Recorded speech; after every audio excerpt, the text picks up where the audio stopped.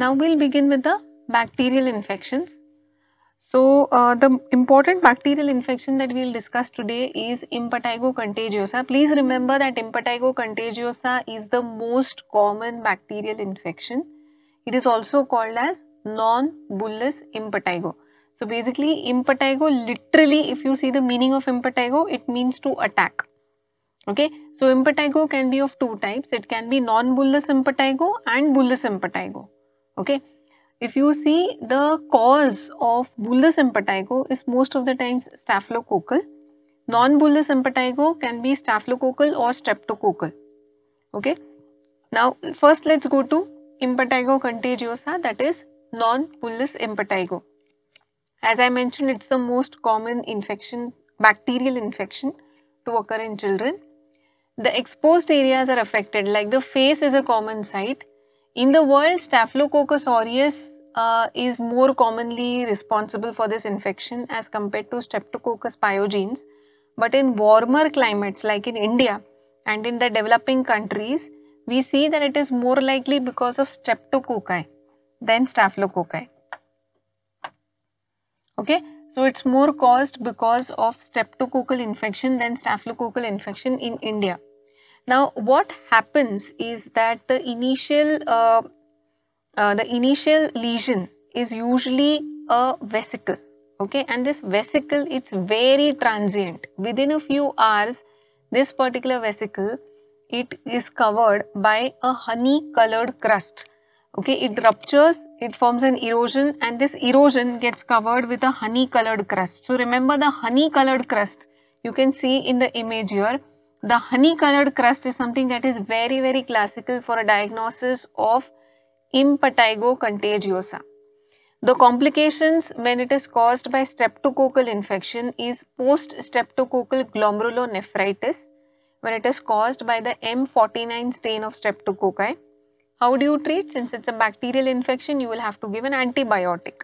So the antibiotic can include uh, dicloxacillin, amoxicillin, clavulanic acid, cephalexin and you can give topical uh, uh, antibiotics like uh, mupirocin and fusidic acid. Okay. So that is how you treat non-bullous impetigo or impetigo contagiosa. The reason it is called as impetigo contagiosa is because you can transmit this very easily. Okay. Then next is Bullous impetigo. Please remember that the other name of Bullous impetigo is Pemphigus neonatorum. Okay, so Pemphigus neonatorum, do not confuse it with neonatal pemphigus.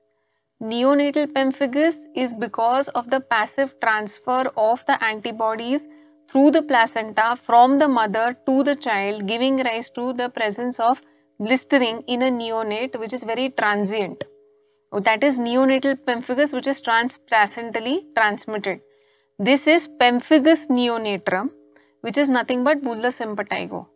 Okay, so bullous impetigo is caused by Staphylococcus aureus. Now what happens is that this Staphylococcus aureus releases a toxin. This toxin is called as the epidermolytic toxin.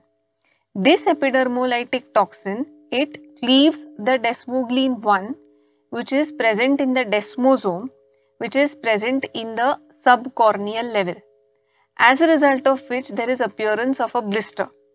Okay? Now because of the blister and the infection you see that there is pus within the blister and this pus it settles at the lower end of the blister as you can see in this picture. You can see the pus settling at the lower end of the blister and this is called as the hypopyon sign. So remember hypopyon sign is seen in bullous impetigo. Okay. Now this epidermolytic toxin usually is excreted out through the kidney. Okay. But if the child is less than 5 years of age, the epidermolytic toxin may not be removed out from the system. That's because what can happen is that these children they have an they have um, an incompetent kidney as yet okay to remove that toxin out hence there may be accumulation of that toxin and hematogenous spread of the toxin and that can give rise to staphylococcal scalded skin syndrome which can be a complication of bullous impetigo if not controlled at the right stage right? So, staphylococcal scalded skin syndrome, it's basically a condition which is caused by the dissemination of the toxin which is called as the epidermolytic toxin. Okay. On histopathology of bullous impetigo, you see that there will be a subcorneal blister and uh, within it there will be neutrophils and uh, that is of course because there is pus right. So, this is the hypopyon sign as you can see here the pus is heavier so it has got accumulated at the base of the blister. So, now let us discuss a very very important topic that is staphylococcal scalded skin syndrome. So, basically as I mentioned that in infants okay and children who are less than 5 years of age the, whenever there is an infection anywhere in the body which is caused by Staphylococcus aureus group uh, uh, phage type 2, this particular Staphylococcus aureus releases a toxin which, which is called as the epidermolytic toxin and this epidermolytic toxin targets the desmoglein 1 which is present at the subcorneal level. This desmoglein 1 is a part of the desmosome. And because there is damage to the desmosome there is loss of the intercellular attachment as a result of which there is primary acantholysis which happens and that eventuates in the uh, in a blister. Okay? So because there is hematogenous dissemination of this toxin you will see that the child will present with fever. There will be widespread blistering of the skin. Okay? And after that you will see that you when you try and perform a Nikolsky sign it will come out to be positive. So what is a Nikolsky sign? When you look at a blister you look at the surrounding normal skin. And when you apply shearing force on the surrounding normal looking skin initially you will feel the epidermis moving over the underlying dermis and then the epidermis will be peeled off.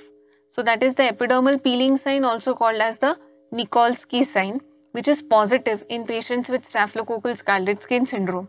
Another very characteristic feature is that these children they develop perioral crusting, erosions and scaling.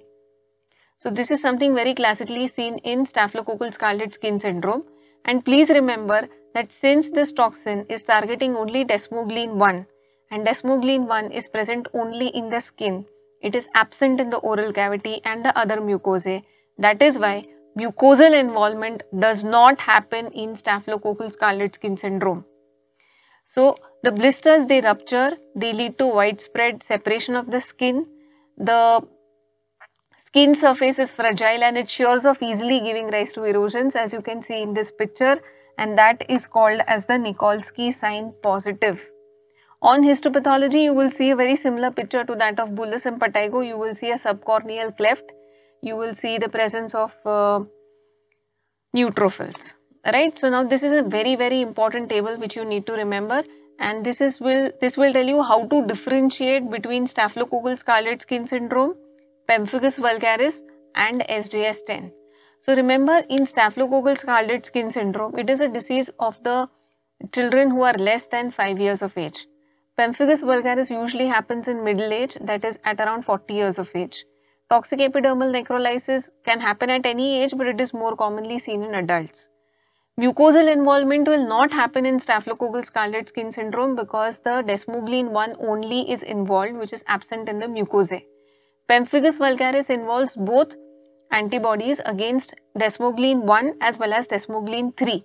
Since desmoglein 3 is present in the mucosae that is why mucosal involvement is something that is very classically seen in pemphigus vulgaris in SJS-TEN by definition there has to be mucosal involvement. So definitely mucosal involvement is seen in SJS-TEN.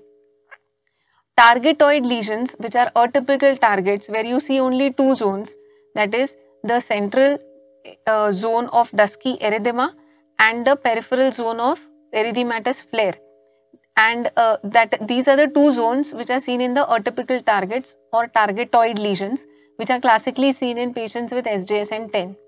Targetoid lesions are not seen in SSSS or in pemphigus vulgaris. Perioral scaling and crusting as I mentioned is classically seen in staphylococcal scalded skin syndrome. On histopathology, on staphylococcal scalded skin syndrome, you will see acantholytic cells uh, which will be present in within a subcorneal blister. While in pemphigus vulgaris, the level of the blister will be suprabasal and you will see the presence of acantholytic cells within the blister. In 10 and SJS, what we see is an intrabasal split and subepidermal blistering with the presence of necrotic keratinocytes. So, this is a very helpful table to differentiate between these three very confusing entities. Now, here this is a second uh, condition which is called as ecthyma. Ecthyma is remember caused by staphylococci or streptococci more commonly with streptococci. It is characterized by the presence of a thick adherent crust and when this thick adherent crust is removed, it creates an ulcer. It is common on the extremities especially in the elderly patients, in diabetes and in patients with poor hygiene. So, this is ecthyma which is a thick adherent crust. When you remove the crust, you will see an ulcer. So, another ecthyma that you need to remember is ecthyma gangrenosum. Ecthyma gangrenosum, please remember, is caused by Pseudomonas aeruginosa and uh, it is a kind of a dermatological emergency. It can cause hemorrhagic necrosis and septicemia. Then you should know what is ecthyma contagiosum. Ecthyma contagiosum is the other name for ORF. Okay, and the other name of ORF is contagious pustular dermatosis. It's a viral infection which is caused by the parapox virus. So do not confuse if they ask you ecthyma, it is caused by staph or strepto. Ecthyma gangrenosum is caused by Pseudomonas aeruginosa and ecthyma contagiosum is a viral infection which is ORF which is also called as contagious pustular dermatosis.